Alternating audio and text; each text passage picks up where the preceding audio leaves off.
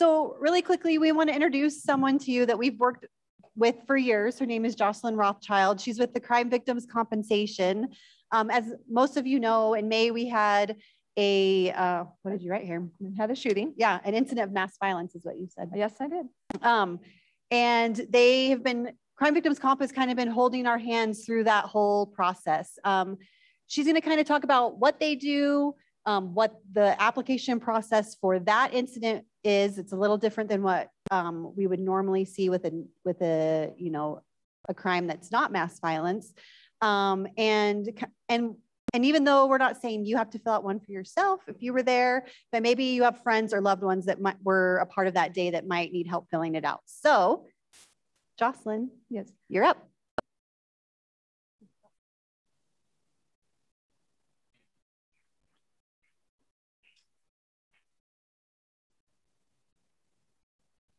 Hello, can you hear me? Okay, so my name is Jocelyn and I am a case manager with the Crime Victims Compensation Program. The purpose of the Crime Victims Compensation Program is to assist victims of crime in paying for treatment for crime-related um, services. So that includes medical treatment, uh, mental health treatment. We, um, we have all sorts of sort of smaller pieces that we can help take care of um, for victims of crime. Um, and the way the program works, we are an eligibility based program, which means there are certain requirements that have to be met. So there are four basic requirements. Um, it is a moderately complicated program, so I'm going to just kind of swing through the requirements really quick. Um, but the four basics are it has to have happened after 1986 because that's when the program was created.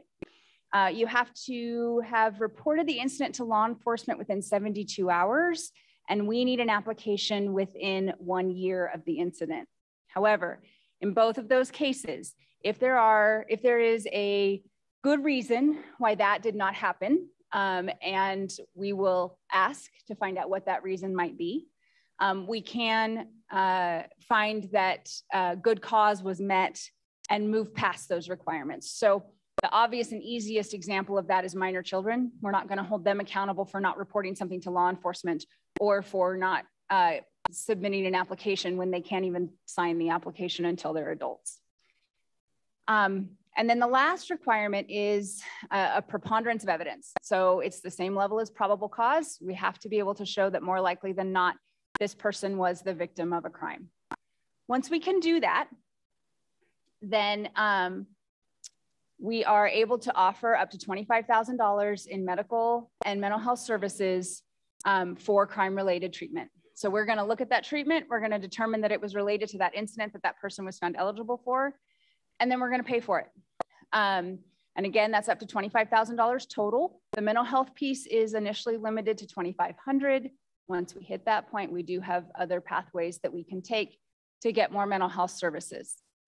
Um, so the, uh, the difference, I guess, between um, a, a mass violence incident is that when there is a mass violence incident um, and a request is made for our assistance to the governor's office, we can come in. We have a, a very, very abbreviated mass violence application. Um, it's a, a, single page. Um, and as long as we can confirm that the person who is completing that application or that that application is completed for um, is a victim of that crime. And we, we lean on our law enforcement offices to do that. They tell us, okay, this is what happened in the situation, and um, here's who was a victim. As long as we can show that, then that victim is found eligible for benefits. When we were here in May, um, I believe we were here four, maybe five days after the incident. And within two to three days after that, we had started pushing out um, eligibility decisions. We had taken care of that within a week. Um, that's not our normal process. Our normal process takes some time um, unless we have a request from the governor's office and we are responding to a mass event. We are not an emergency program. However, um, in that case, we do have the specialized application and can uh, respond in that way. And so um, we can push those applications out as fast as possible. The, the purpose of that is so that people can get treatment as quickly as possible.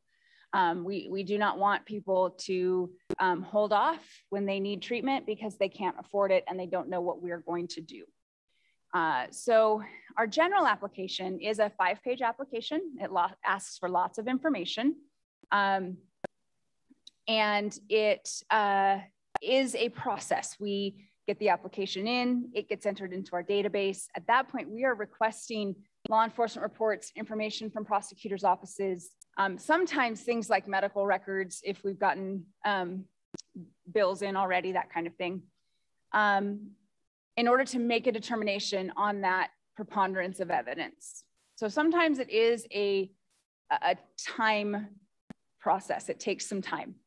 Uh, the other thing that our program does um, is we pay for sexual assault exams that occur in the state of Idaho. So those happen either through the general five page application or those happen through a single page application um, that is filled out for that purpose. Um, mostly that information is just for you to keep in mind. If you um, are in contact with someone who has experienced a sexual assault and needs an exam, but paying for it is a problem, they don't pay for it. Crime Victims Compensation pays for those exams, okay? Um, all, of, all of this information is available on our website. Um, and we do have a, a, table out front that has um, materials. We have applications. Um, we can talk you through what you need. Um, and our cards are out there. And I would strongly encourage you, um, if you feel like you need an application and you have questions, to at least come get a card or one of our our uh, brochures or tabletop cards that just sort of have a breakdown of the program and ways to get in contact with us. Um, if you are a provider who often works with people who may benefit from our program, I would strongly encourage you to come get some information. Um, you never know when, when it's gonna come in handy and when you need to have it. Um, so we work hard to um, to assist victims as much as we possibly can within the bounds of our program, um, to find people eligible for benefits, to then pay for those benefits and um, get things taken care of in as, as quick or timely manner as possible. We do require under the law that if you have some sort of health insurance, Blue Cross, um, Aetna, Medicaid, any of those things, um, that that does have to be billed first. So you're gonna wanna go see somebody who can bill your insurance and then bill, ha have them bill the rest of it to the person.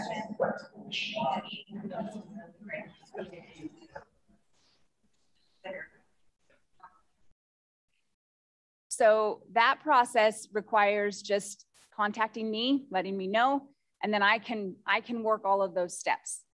Um, the other thing to keep in mind is sometimes using your health insurance is is not or your victim using their health insurance is not the um, the healthiest or the safest way to go. In that case i just need to know that and i can work around it um, because our goal is to do everything we can to make victims whole. So um, again i would strongly encourage you to come get some information. We'll be out there till about two uh, and then we have to drive back to boise so uh, um, we are we are based out of Boise, but we have three case managers who cover the entire state. So someone is someone in our office is an expert in the area where you are located. Um, most probably that expert is me. I don't know how comfortable that makes you, but um, I am the case manager for this region. So um, anything located in Region Seven, um, I've been doing this for a while, and um, I can probably help you with what you need. And if I can't, I know people who can. So um, I, I, think that's it. Thank you.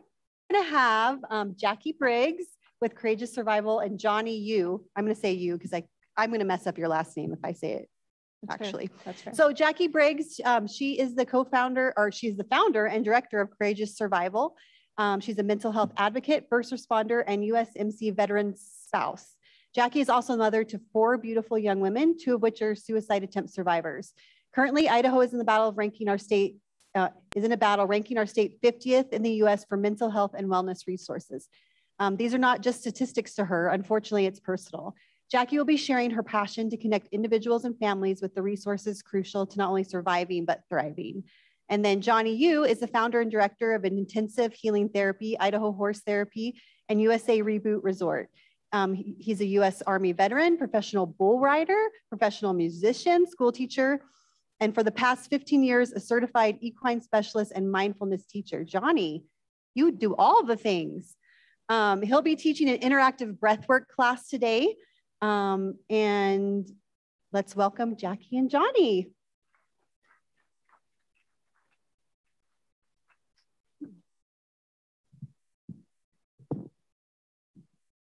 I'm going to take this off here for a second so I can walk around a little bit.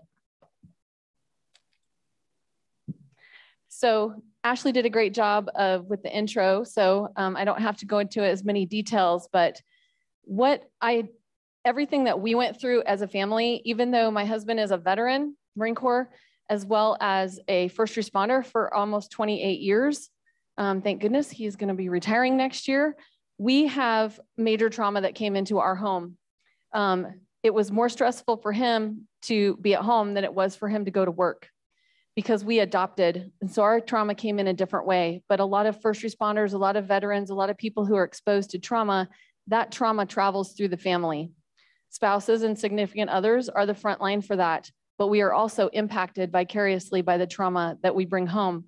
Even if you think you're not bringing it home, you are bringing it home. So um, our family was impacted um, we adopted two girls that had a lot of trauma, and that's where our trauma came from. I ended up with four girls that struggled with major mental health issues and were suicidal, two of which are suicide attempt survivors. Our youngest, when um, in 2006, excuse me, 2015, um, with her suicide attempt, it was four days before we knew she was going to live at St. Luke's. And then she was at Intermountain Psychiatric um, Juvenile Facility. And I will be eternally grateful to them that they kept her alive because we knew that she would not be with us if she got out. She told us she would not fail again. And so we fought and fought for resources for her. I was not willing to give up on my daughter. I was not willing to just cave, even though there was lots of times that I felt like I just wanted to curl up in a puddle on the floor.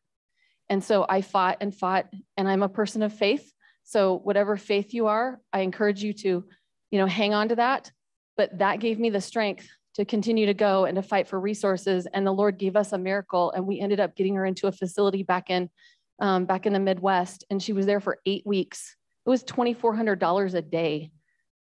Yeah, huge miracle. Our portion ended up being only twenty five hundred because we had three other hospital bills that we were paying off. Plus, my husband had got a pacemaker four months before that because of all the stress. Um, so when I say that we're here to connect you with resources, for mental health and wellness, I've lived it. Idaho is ranked 50th, but I really believe with all the work that I've done over the last five years and all the people that I've met, um, that there is a lot more resources that are out there and available. People just don't know about them. So after traveling nationally and doing two-day mental health and wellness trainings across the country, um, I realized we were losing too many here in Idaho. And this is my family because I'm a native to Idaho. And you can go ahead. Sorry, I forgot to say to go to the next slide. Um, so that's my husband and my daughters. I have four of them. Um, and I have a granddaughter, my daughter, who we almost lost. She's a mama now. And my granddaughter is going to be three. So that's her right there in the picture with us. Um, anyway, so this is very personal to me. And so we started seeing a huge rise in suicide. Idaho is ranked high we lost an officer at my husband's agency, Ada County Sheriff's Office. One of my best friends lost his son as a Meridian officer that took his life three years ago on duty. Um, and so there was seven first responders that we lost in about a two-year period just within the Treasure Valley to suicide, plus all the veterans. We're losing 22 veterans a day to suicide. That is over 8,000 veterans we are losing every year. That is too many. And so, yep, exactly. One is too many. And so that's just almost unfathomable, you know, when you look at those numbers. And so that's what I wanted to do is I wanted to create a way that we could connect people with the resources because there is amazing resources out there. So I'm going to tell you a little bit more about what we do with Courageous Survival. Go ahead to the next. So this is what we're going to be talking about today. We're going to be talking about our mission, our peer support teams, um, the value of sharing your story. um, enhanced peer support teams, the available resources, what post-traumatic stress injury is. If you guys are not familiar with PTSI, um, I'll be talking about that, um, the importance of self-care, and then we're gonna go on to Johnny and actually share one of those resources with you. It's a very powerful tool, simple breath work that you can do that will help you to learn to re regulate your autonomic nervous system. Go ahead into the next. To the next. So our mission um, is to connect our Idaho everyday heroes with mental health and wellness and tangible tools for building resilience. Our hope is that all first responders, veterans, and their families can learn to recognize the signs of trauma exposure and post-traumatic stress injuries in themselves and in others, and then have the courage to reach out for help. Because you know what, you guys, you are worth it, your life matters, and you matter. And I know this is kind of a unique situation because most community members have no idea what kind of trauma that our first responders and our veterans have been exposed to. Most therapists don't have an idea if they are not specialized and know about you know having trauma informed and all kinds of specific for PTSD for first responders and veterans. Most counselors, two minutes into the session, are needing their own darn counselor. And so that's the truth. I see, see some heads shaking. You guys know what I'm talking about. So you guys have a really unique situation here in Rigby because of the school shooting you as a community have been impacted by trauma at such a higher level than most people understand and get. And so we want to make sure that you guys have the resources as well. So we were invited to come and talk about what we do, but we also, a lot of the resources in these resource guides, they specialize in first responders and veterans, but they also treat civilians. So those resources can be available for you as well um, and to make sure that you guys get the best resources. And you guys have so many phenomenal resources here um, in Eastern Idaho. It is amazing. Um, I'm a native Idahoan. I was born in Coeur d'Alene, raised in Star and Boise in the Treasure Valley area. And I have a very special place in my heart for our rural communities because a lot of people don't realize, even first responders, they're like, what what do first responders see in rural communities? Ah, they never have anything. They never see what the big city um, first responders see, that is baloney because the first responders here in you guys' area, they have less access to resources. Their backup is further away. And when they go to a call, when they go to a school shooting, when they go to an accident, when they go to a domestic, it's their cousin or their fifth grade teacher, you know, or a friend. And so that personal level connection to the calls that they're going impacts them even more. And so that is our passion is to make sure that we're getting to every area of the state. So our mission is specifically Idaho um, because that's where I live, right? But we have other people that we're helping in other states as well. Go ahead to the next screen. So I'm not gonna be able to play a video for you, but I wanna encourage you guys, um, if you're online and you're listening to please go online. Um, at some point we have on our website, we have a page that is testimonials. I have first responders and veterans that are sharing their story. And the power of the story is so incredible when you have a Marine Corps veteran who's a SWAT cop and a canine officer, you know, the toughest of the tough, right? Sharing their story, or Cameo, who is going to share with you, a paramedic, um, sharing her story. Her dad, dad's a cop. She was right here. She's an Idaho girl. Um, I don't know if you guys remember, we lost a Boise officer about 23 years ago. Mark Stall was killed in downtown Boise. And she was actually in the car on a ride along with her dad. And she was involved in that. Bullets were falling at her feet um, in the passenger seat. And her dad was one of the shooters that took out the gunman. And she changed her course in her life. She was a young adult going to college and she became a, a paramedic. Um, but all of the trauma that she had been exposed to throughout her life um, and then everything that she was exposed to during her job as a paramedic impacted her greatly. And one day she had a breaking point.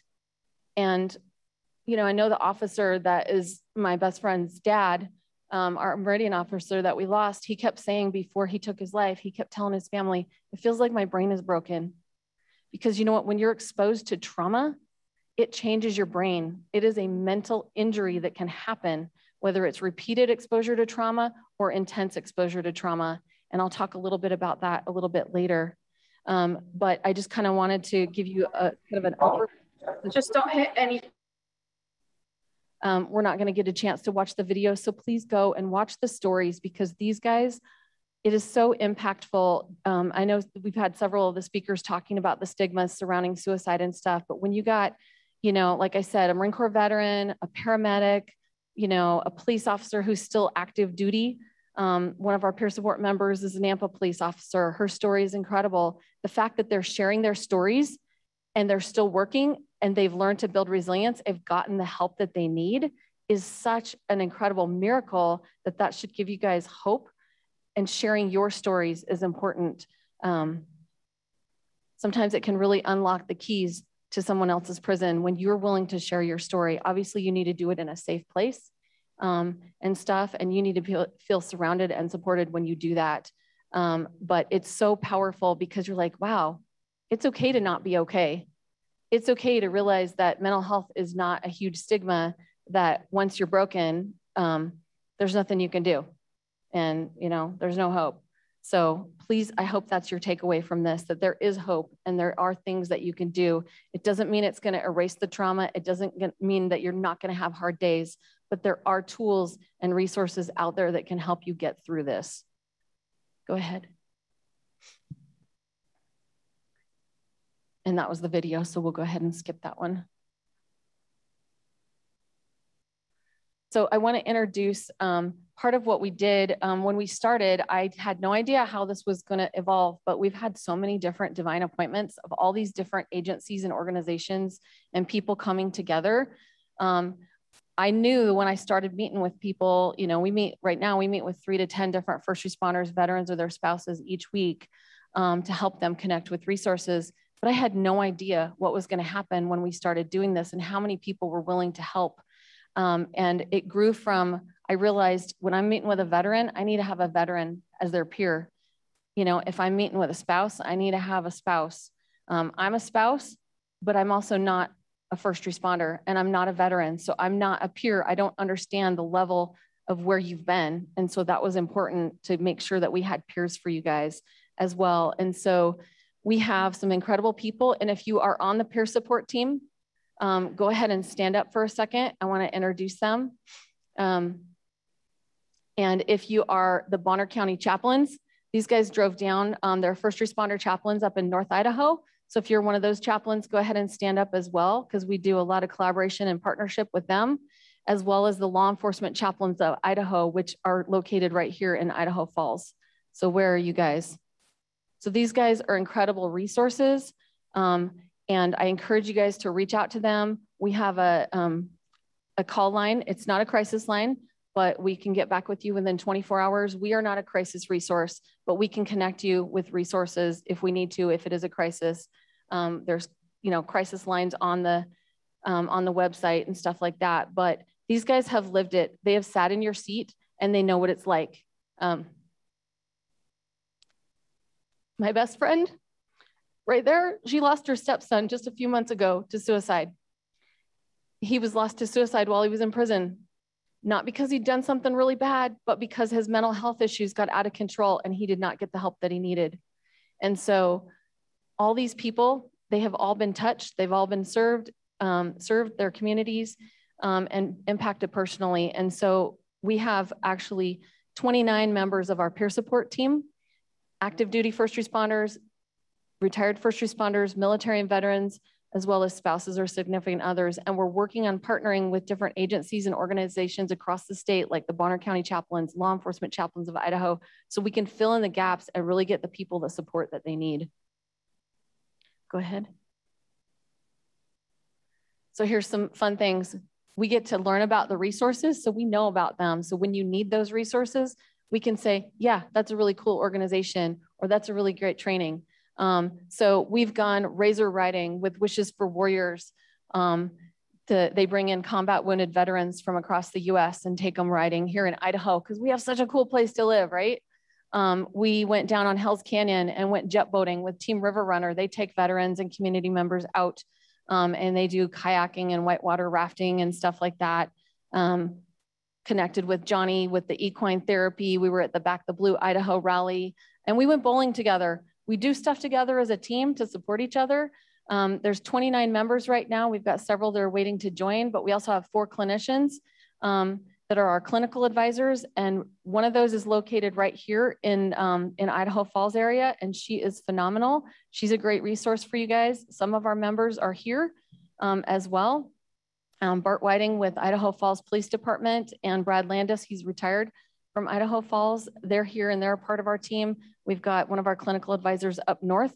Her husband was the officer in 2004 that was shot in the face and died several times, came back from that and he is a walking quadriplegic. He's a miracle. She went on, she's a veteran, she's a paramedic or EMT, excuse me, um, and she is a mental health um, psychiatric nurse and they are incredible resources for us. So there's a lot of people that we're building this network.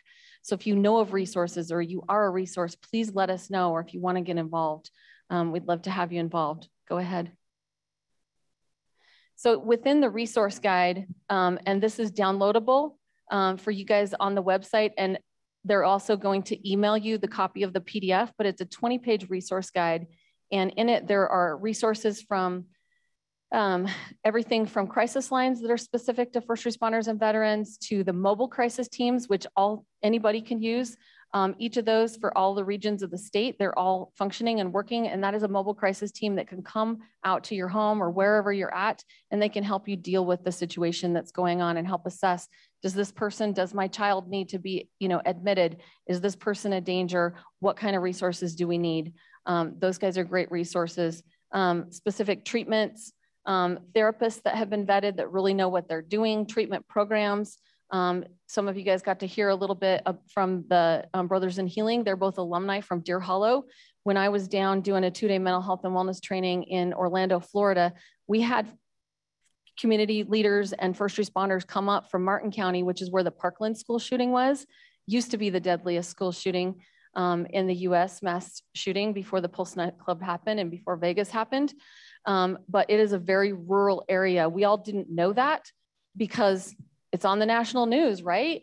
But it is so rural um, that they have like one clinician, um, one psych- psychiatrist in the whole county of Martin County. And even to this day, those community members, those school leaders, those students, those parents, those first responders, they are still struggling big time. And so they came up and I got to meet some of them and they're like, oh my gosh, these resources are incredible. We had no idea but they knew about Deer Hollow because Deer Hollow is one of the best in the nation for first responders and veterans. Johnny works um, um, with Special Forces and Department of Defense and stuff, and he's been doing a lot of work with them. And they USA Reboot Resort was out of Louisiana until COVID hit. Um, and so instead of waiting for that to get back up and running, he's going to go ahead and get that stuff going here in Idaho.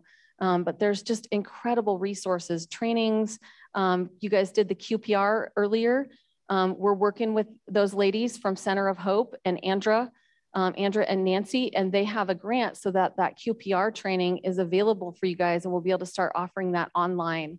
And I run into so many people, they're like, well, I'm not a first responder, but my niece took their life a few weeks ago and now my kids are struggling. So what kind of resources do you have? And so those are tangible resources that you guys can connect with. So I encourage you to check those out. Okay, go ahead. So some of the resources, I kind of mentioned some of them already. Um, for example, in the Boise area, we have um, in Nampa, there's a place called Elevate Mind Body Studios. And when I would travel across the country, part of what my role was is to look for resources like them. Um, they have float pods, wellness cocoon sauna, red light, pain light, massage chairs, Himalayan salt room with halo generator. These types of resources for your mental and physical health are so phenomenal.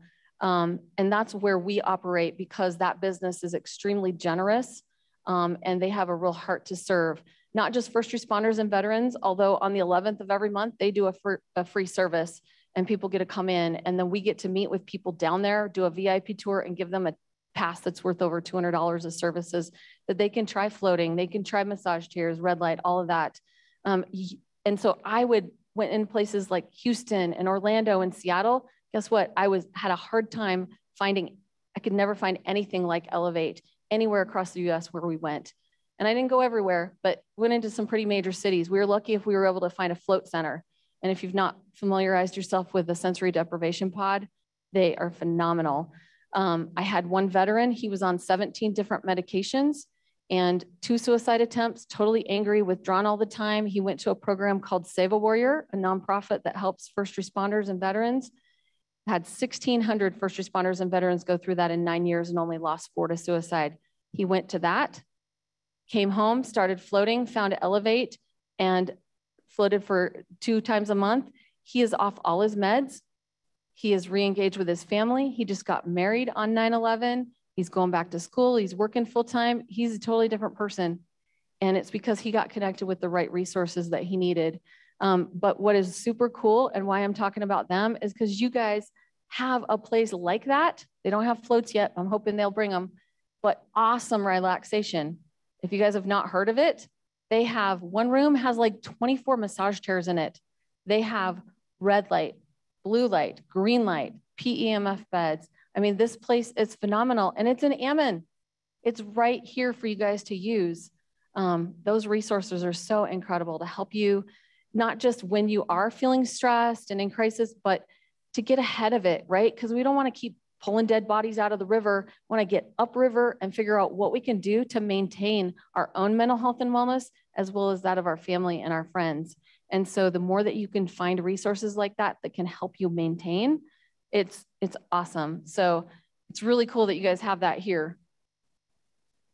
It's called awesome relaxation. It's like A H H H, you know, then the rest kind of a play on words. so um, like I said, they're uh, they're right by the Walmart in Ammon. I came over in May and we did a a week long training for suicide prevention and trauma focused mental health and wellness. And I was looking for float centers and I was like, oh my gosh, they don't have a float center but the one that you guys had closed, and somebody told me about that. Actually, Sheriff Sam Hulse, um, he they actually donated, awesome donated two massage chairs to their sheriff's office, and they have them at different locations. So when officers, you know, come in, they can use the massage chairs and stuff like that. So, and this place is open 24 seven. You can get a membership and you can go in and you can use it 24 seven. It's pretty cool. Um, go ahead to the next screen. So some of our other partners are nonprofits like Brothers in Healing that came and spoke today. Those guys are, um, if you guys missed them, they're two school resource officers that were involved in some pretty major incidents, including um, school shooting. And they formed a nonprofit to help um, first responders. And they also help schools because they have a real heart for kids and families. They have some anti-bullying messages, some suicide prevention stuff. They've done some powerful stuff with schools and with kids. Um, and so I thought that they would be a great resource for you guys. So I'm so grateful that they were able to come and present. Um, they help to provide um, funding for first responders and veterans and their families. Um, 911 at Ease is a nonprofit that just came to Idaho. They were in California first. They will pay for the first responder, their spouse, and their kids to get counseling free, no attachment to EAP or insurance. And that's really a big deal to a lot of, for example, law enforcement they want to know that it's anonymous because um, there's still a lot of stigmas that have to be broken down um, of once that person is like hey yeah i'm struggling then they get written off and they're like okay they're broken. We need to you know put them in a different position or you know let them go. Unfortunately we've had a lot of people that have been let go um, because they didn't get the resources that they need and they weren't supported by the agencies um, that they've given their lives for. So um, anyway, there's a lot of great resources like that. I talked about Save a Warrior, Project Welcome Home Troops. They have a, a free breathwork class, and that is community members can also take that. You guys can connect with them online. It's a powerful tool. Go ahead to the next screen. And I'm just giving you guys kind of an overview of some of the really cool resources, but there's a ton of them. Um, there's four pages in our resource guide, and we're updating it every quarter as we go to another area of the state we are updating it. We just added nine therapists here in the um, Idaho Falls area that have specialty in trauma. Um, so we're committed to that. Other community partnerships that we have is with NAMI Idaho, the American Legion, the Idaho Suicide Prevention Hotline, um, Code 3 to 1 Retired Law Enforcement, and we partnered for Center of Hope when we came over here and the Department of Health and Welfare, and they are incredible resources. Um, Amber and Mike, you guys from the NAMI, can you guys stand up for a second? Um, Amber is the Young and Well coordinator for NAMI, and um, Mike is the president emeritus. I don't know where he's at, um, but they have incredible resources. It's a national organization and they, they run the Idaho chapter, but they have support groups. They have Zoom groups from families to peers to all of that. And so that they are a great resource. The American Legion, we're partnering with um, Abe. Can you stand up for a second? He's the adjutant for the state of Idaho for the American Legion. And they have an incredible program, um, a one more day program to help veterans that are struggling with suicide and also to train. Our goal is to help them develop peer support teams and veteran crisis teams at every post, 99 posts across the state of Idaho. Um, and one of the first trainings we got to do with them partnering here was here in Idaho Falls in May. And it was so cool because we had veterans that were like young all the way through veterans that were like 82 that went through the two day suicide prevention training or came to the QPR training because they're so committed that they don't want to see any more of their comrades' lives be lost. Um, so thank you guys for what you're doing as well. Um, the QPR, like I said, those resources are right here. You guys can probably go to some of their stuff in person as well as online. The ETIP, um, that's a great class for emergency responders um, to go specifically teaching you because you can't stop the initial trauma. You can save the lives, of people potentially sometimes, and you can help the victims, but you cannot stop the initial trauma. But what you can do is you can learn skills so that it can help mitigate some of the post traumatic stress injury that impacts you that at that moment as well as down the road. Um, so that's a really great class for them. And then I don't know if you guys are familiar, but in um, Boise area, um, and then they have one in, in Twin Falls. It's called Joining Forces Task Force for Treasure Valley Veterans. And it started um, 12 years ago when there was an incident that happened with a veteran who had a breakdown and disassociated and thought he was in combat, got into a shootout with police. But when he was in the jail, the um, chief of police and a veteran advocate came and met and got him the resources that he needed. And they started meeting every week. And we still meet 12 years later. There is 40 to 60 of us that meet once a month from different veterans organizations to help surround the veterans in the community with the resources that they need. It's super cool, all these collaborations that are happening. Go ahead to the next screen. Um, and I wanted to point out, um, where is the Upper Valley Child Advocates in the room? Okay, we got one, we got some more. Um, you guys know who they are. You're here, they're, they're running the event. They put this together and East Idaho Public Health. Are you guys in here as well? Um, this is one, this symposium is one of the best trainings, mental health trainings I have seen ever come to a rural area. Um, these guys did a phenomenal job of putting this together and of serving your community over the last several months, especially. I mean, day in and day out, but really they've stepped up and they've taken the first responder role um, over the last four months. And so um, they are incredible resources for you guys, as well as the crime victims um, compensation program. And I couldn't quite hear everything she was saying, but Kimber and her team, they are the first in Idaho to make sure that the first responders were designated as victims of the school shooting as well. And that's huge so that they can get the help that they need. And so it is incredible that anyone um, who is impacted by that school shooting is able to get mental health help and therapy for free for the rest of your life those resources are incredible. And so please take advantage of them. Um, faith is a big thing too. I'm a native Idaho girl, right? I grew up here. Faith is a big thing to a lot of us. And so I know a lot of you guys um, are from the faith community here. Tap into those resources. You know, make sure that you are connecting because that faith can really help you get through um, and that's a big part of, I love the fact that they brought faith leaders in and that they had a track for faith leaders because oftentimes as a faith leader, I mean, prayer is a powerful, and I don't want to take anything away from our awesome God, right? Because my daughter is alive because God owns the cattle on a thousand hills. And we got a miracle.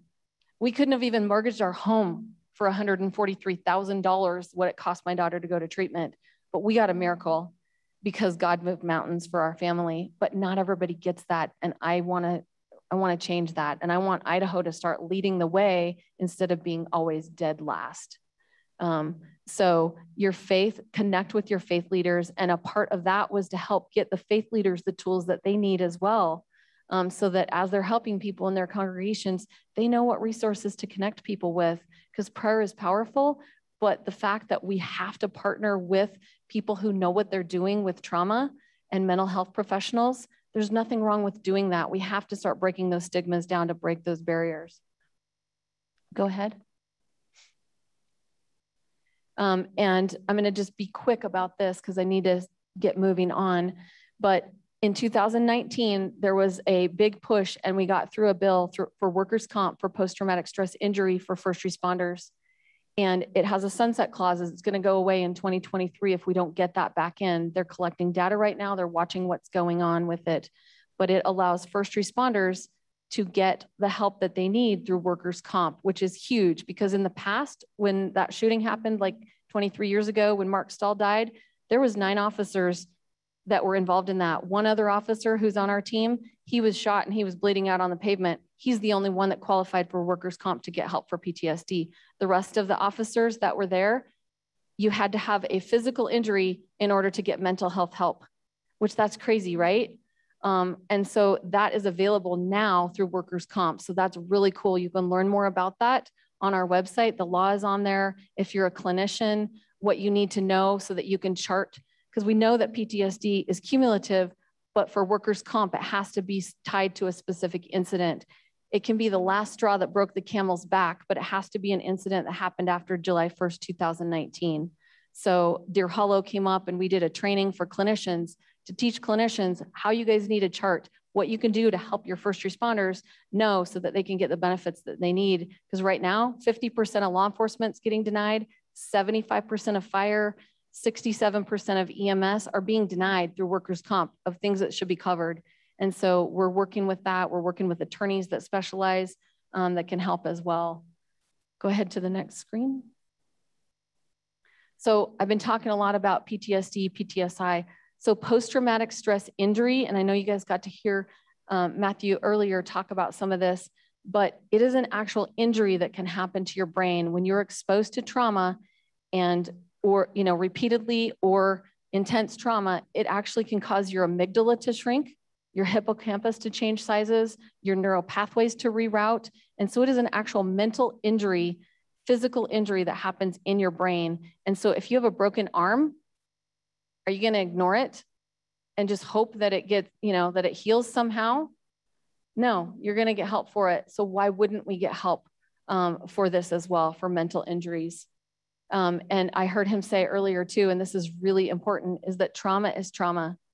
Do not compare because we've all had stuff that we've gone through and our body keeps the score. And even as children, we think, oh, well, there's a lot of us who've had childhood trauma. Did you guys know like 70 to 80% of first responders or veterans, they've had some kind of major childhood trauma in their life that has molded them to become who they are, to be the helpers, to be the rescuers. Childhood trauma impacts people, and children are resilient and they bounce back, but they carry that trauma with them. And so, if you don't get them the help that they need and the resources, that can impact them later in life um, as well as currently. And so please make sure, don't wait. The sooner that you can connect with those resources, the better. We, one of our therapists here, she actually, after a first responder had a really bad incident with a child death, that, that first responder came directly to her office right after the incident and did some accelerated resolution therapy. I don't know if you guys are familiar with that or EMDR. Um, but you have 15 therapists here in Idaho Falls area in Eastern Idaho that are certified in that. And it can help mitigate and reroute those neural pathways immediately um, from that trauma and helped with the triggers and stuff. She wrote a grant for 15 of them to get um, trained in that. And the Behavioral Health Board here that Sam Hulse and several others sit on, they approved that. And so you guys have those resources here. Um, some people can go to the same situation, the same call, and it can impact them totally different. So stop comparing. You know, oh, I don't have it so bad as so and so you know, or my first responders, they'll be like, don't put me in the same category as a veteran because I didn't go serve in combat.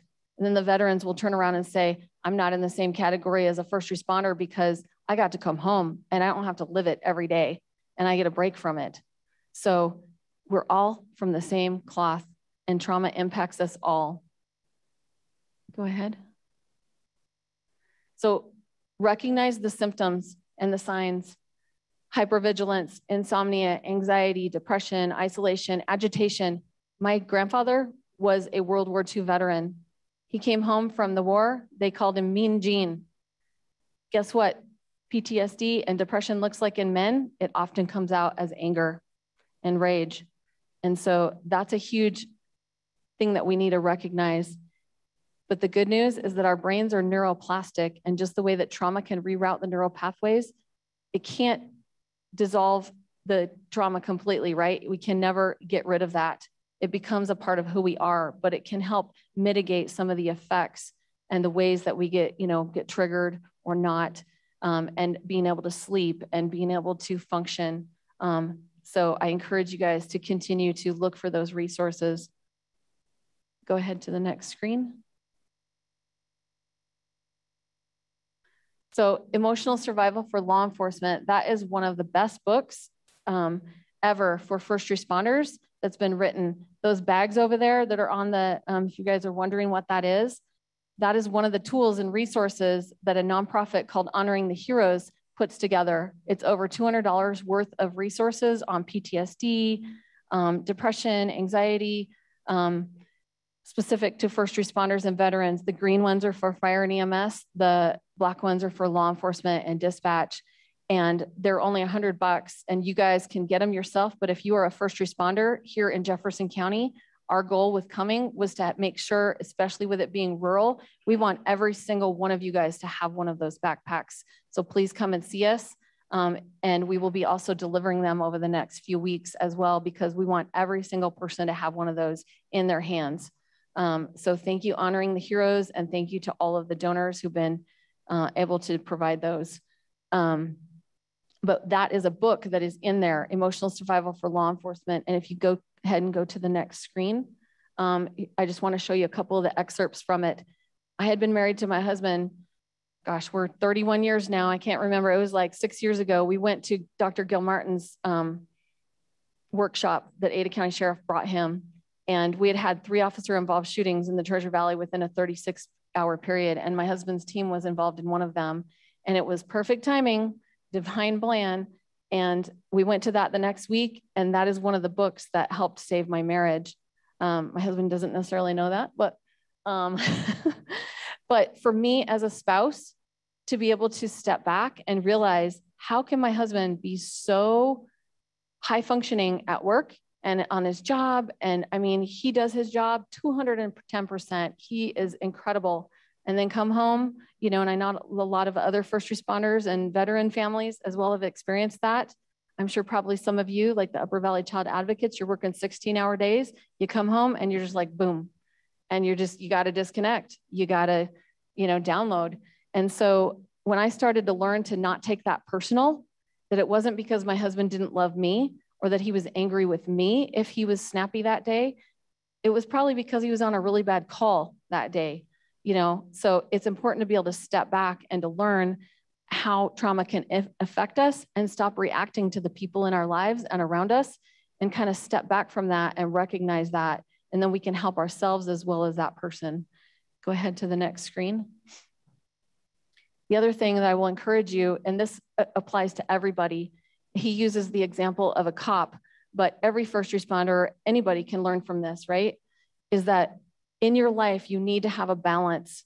If all your friends are cops, you need to do something about that.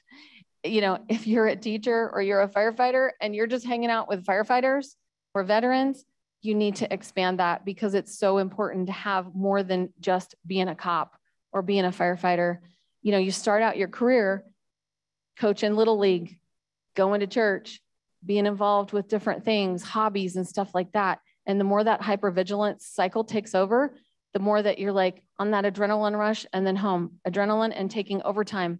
And you're just going through that cycle and you don't have time for this. You have to make time for these different things and to be connected in the community and with your family. Go ahead to the next screen and have fun. So, this is one of my best friends ever he's the father of the Meridian officer that took his life. He's on our team, but we also go do a lot of fun together. It's been hard and it's been rough. These, the pain is real. but it doesn't mean that it precludes us from having fun. So I want to make sure that you guys understand that in the midst of it, you can experience joy, you can experience peace. It doesn't take away from your trauma, but you got to take time to do self care.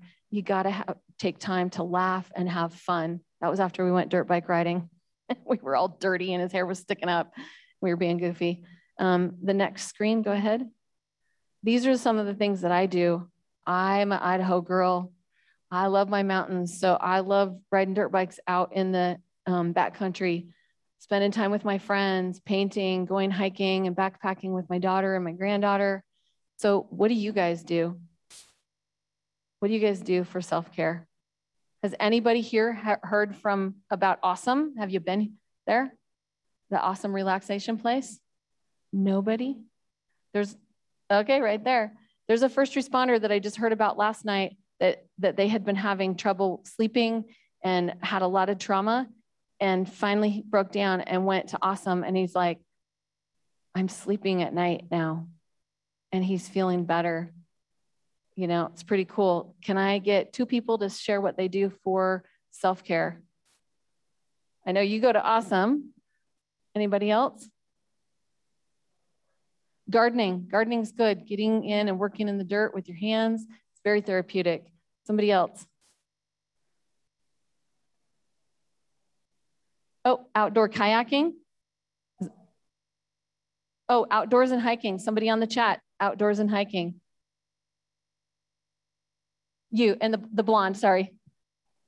Kayaking, kayaking, cool. Okay, is there a first responder in the room here from this area? Can I call on you? What are you doing for self-care? Fly fishing. Okay, good, good. Um, not overtime, right? You guys, self-care is not overtime so that you can go buy more stuff.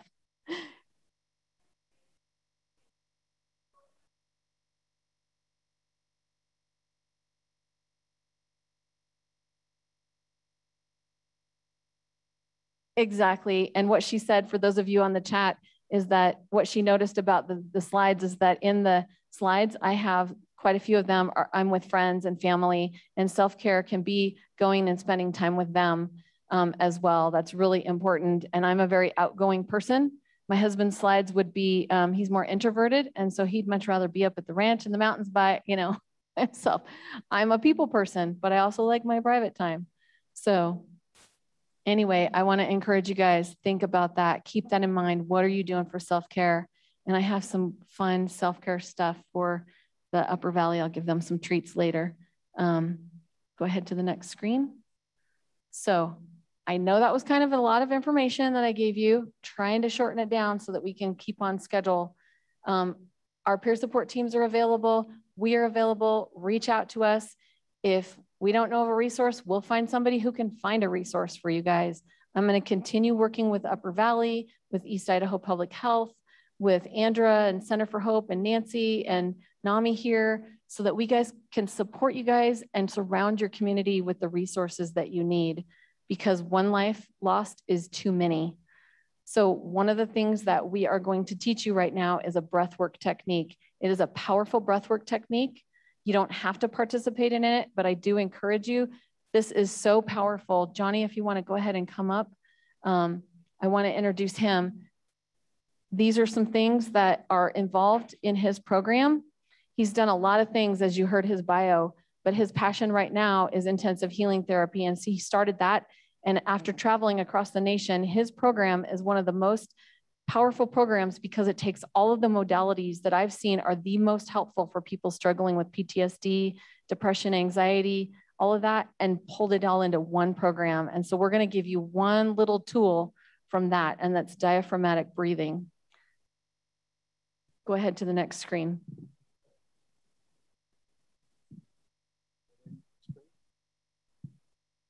And then we'll just keep it right here go? Yeah, I'm on. Thank you. Thank you all. Thank you for saying all those nice things. Um, it, that was a, pro a project or a process of being ADHD before they had a name for it. Anyway, so thank you all for staying kind of awake. What I'm gonna do right now is a breath work. I, I usually have a long time to explain some history. You're not gonna know about that. But diaphragmatic breathing and mindfulness has been around for thousands of years. And just lately, in the last 15 years, especially the last 10 years, that we've found people like Wim Hof. Anybody heard of Wim Hof, the Iceman? Really? A couple of you have. Uh, history on him, Niraj Naik from Soma Meditation. I want you to keep track of these because I want you to look these up on YouTube afterwards. They're great resources. Wim Hof, W-I-M-H-O-F uh, on YouTube. Look up Soma Meditation, S-O-M as in monkey, A, Soma Meditation. Uh, and uh, last but not least, Dr. Joe Dispenza. These are guys that have trained us over the last 10 or 11 years. And, uh, but just a little bit about, uh, about Wim Hof so they can understand the importance to it. He has uh, over 20 Guinness World Records. There's known as the Iceman. So the records, he, sw he swam for 80 meters, which in America it's about 250 feet, right? Under three foot of ice with no gear on. It's that guy. You may have heard about him. Uh, he climbed Mount Everest in shorts and shoes. He has a world record for being immersed up to ice water to his, uh, about an hour and 57 minutes. Why keep in his core temperature? On and on and on. But something that really, uh, that really divided him from everybody else was a, uh, a research company injected a pathogen into his blood system. And up to 6,000 people before that had a reaction of temperature, nausea, uh, uh, inflammation, all the things. They injected into him. He did this little breath thing that I'm going to teach you. And all of a sudden, the metrics went like nothing happened to him. And then he said, Well, you're, you're an outlier. And Wim, being the comical guy that he is, and I got to meet him, by the way, when I went through his training, he says, No, I'm a freak. I know that. He says, But I can take guys and, and give me 10 days, I'll bring them back. So they gave him two dozen guys. He brought them back in four days, and you know the rest of the story, don't you? All four, all, all of them could do the same thing. So I want to teach you that today, okay? And uh, I'll just tell you that we'll get comfortable here. Take that because I don't need this. Get up, my, put that anywhere. And um, my long hair is my penance for being judgmental the first 60 years of being a cowboy. So, um, you ready? Okay. So what I'm going to ask you to do is get in a very comfortable place if, uh, if you feel like you want to be involved in this thing. Uh, and as it, are, are, any of you meditators at all? So kind of, right? Yeah, if you know Wim Hof, you definitely are a meditator by now. So I want you to get to a place where your back's supported. When we do this, we actually do it lying down. If you want to lay down, it's fine. But um, we want to where your back supported because you're going to get so relaxed afternoon. Some of you are about ready to fall asleep anyway. I'm going to help you with that. Because uh, what we want you to do to get in a very mindful place, a place where anxiety and and depression is not running your life right now, okay? And the more we do that, the more we linger, the more we launder ourselves into where we feel like that more often of our time. What happens when you're in the middle of this your immunity goes up, your blood pH goes more alkaline. Uh, I can go on and on about what happens. It's the most uh, efficient time or most efficient moment you'll have in your life when you get into this. So we're going to do, uh, just to show you, we're going to run you through 20 breaths. And then I'm going to let you do 50 breaths, okay? But these breaths are diaphragmatic and they're very important how you do it. So we find out that when babies breathe, they breathe in their nose naturally and their tummies right here expand up. Little tummies rise up and down. So I want you to take one hand, put it on your chest, the other hand, put it right in front of your belly button. And if you're with somebody that uh, you're okay being judged by, uh, look at that person, and I'm going to have you breathe in your nose and let it fall out your mouth. Breathe in your nose and watch which hand moves the most. So breathe in, watch that hand, and breathe back out. Okay, how many of you kind of felt this top hand move? Yeah? Okay. If I was judging, there'd be a few more didn't put their hand up. Okay.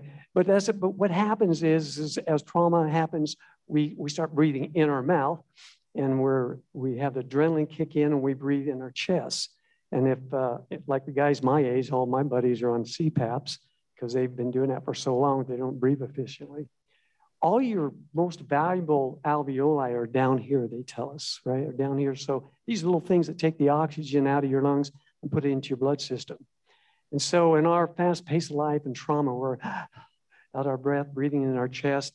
most inefficient and uh, most disease caused thing you can do. So I want you to really, during this deal, I want you to really concentrate on trying to make your worst beach boy or beach girl look and expand your tummy like it's got a basketball in it. It should feel kind of uncomfortable, right? Because when you breathe, try that and breathe in your nose and make this hand pop out and then let it out your mouth relaxed. So it looks like this, right? It goes. Okay. You have to do that. I can't do it for you, but I promise you, you will have a great experience if you'll do that. It'll change, it'll saturate your, your cells with oxygen that haven't been saturated in many, many years. You'll remove some of the toxins, the bottom part of your diaphragm that's probably been sitting in there rotting away, all these things. And you will get lightheaded.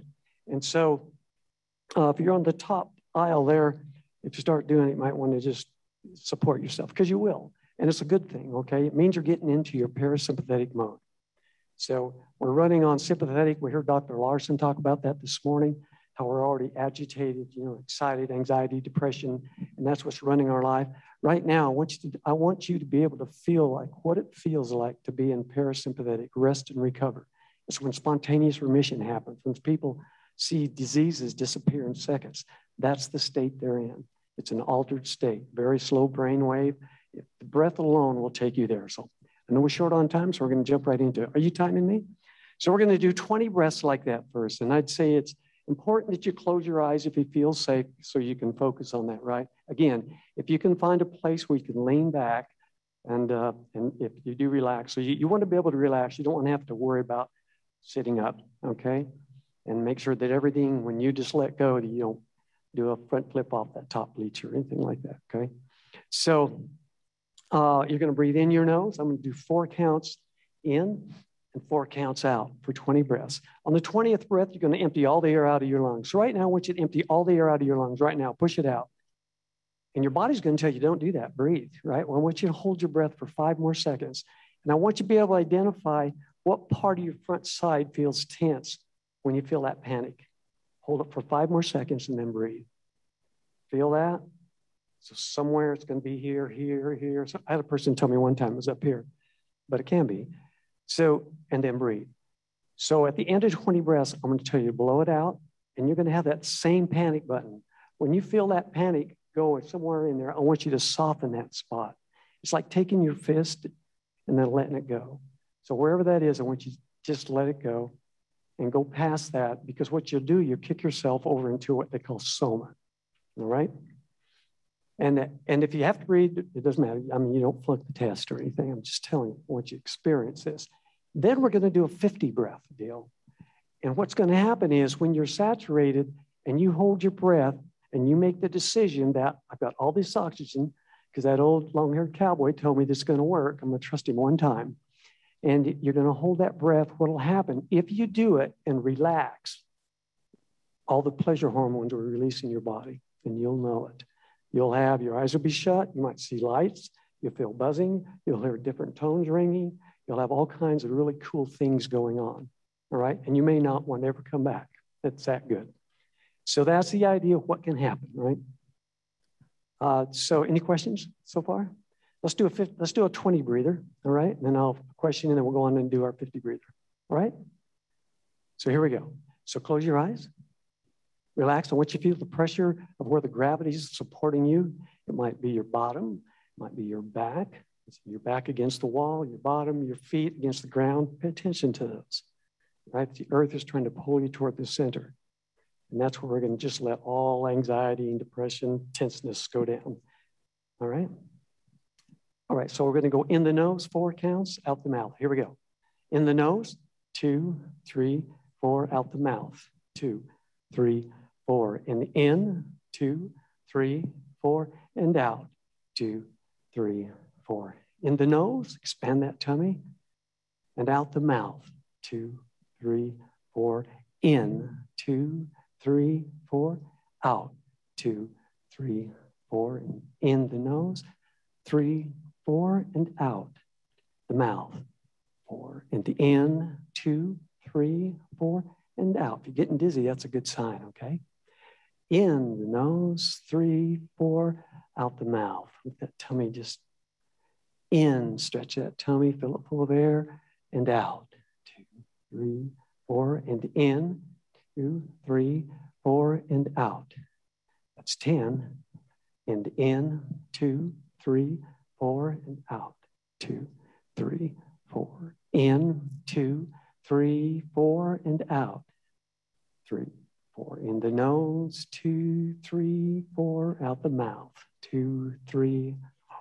In, three, four, and out.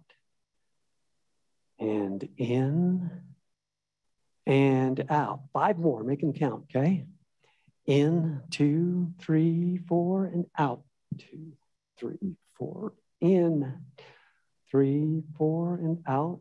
Two, three, four, and in. Three, four, and out. Two, three, four. Now all the way in, big breath in. Now all the way out. Empty all the air out of your lungs. Let it out and hold it out. We're to let you try to hold it for 30 seconds. When you feel that panic, I want you just to go by it. And what will happen, you'll feel a little influx of the, of the really pleasure hormones. We'll only need you to hold it for 12 more seconds. But just practice and releasing that. What you're doing is making a more dominant parasympathetic.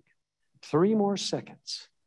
Two, one. All right, big breath and hold it. Once you put a big breath in, keep your eyes closed. I want you to push the blood into your head for 10 seconds. Just 10. Push. Nine, eight, seven, six, five, four, three, two, one. Relax. Keep your eyes closed if you would. Kind of kind of recover. All right, everybody okay? All right, we're going to go 50 breaths now. And if you think that was a charge, hang on. Okay, everybody okay? Any questions? All right, we're going to go 50 breaths. Here we go. We're going to go a little faster though. We're going to go in two counts and out four. So we're going to make our in count. What we do when we breathe in, we're actually involving our sympathetic nervous system. So a little bit of adrenaline. On a breath out, which is twice as long as a breath in, we're going to involve our parasympathetic, which is all of our dopamine, oxytocin, our pleasure hormones, right? And so we're going to spend more time out than in, and you'll it'll change your whole way you feel. So you ready? All right. Check your body out. Find those pressure points. Release any pressure, right? Okay. Here we go. We're going to go in two counts, out four, a little quicker. And in the nose. Ready? In, two, out, two, three, four. In, two, out, two, three, four. In, two, out, two, three, four. In, two, out, two, three, four. In, two, out, two, three, four. In, two, and out. Good breathing, y'all. Been good. In, two, out, two, three, four. In, two, out, two, three, four, in, two, out, two, three, four, in, two, out, two, three, four, in, two, out, two, three, four, in, two, and out, two, three, four, in, two, out, two, three, four, in, two, out, two, three, four, in, two, three, four, in, two, out, two, three, four, in, two, out, two, three, four, in, two, out, two, three, four, in, two, out, two, three, four, in, two, out, two, three, four, in, two, out, two, three, four, in, two, and out, two, three, four, in, two, out, two, three, four, in, two, out, two, three, four, in, two, and out. We're halfway there. And in, two, out, two, three, four, in, two, out. Finish strong.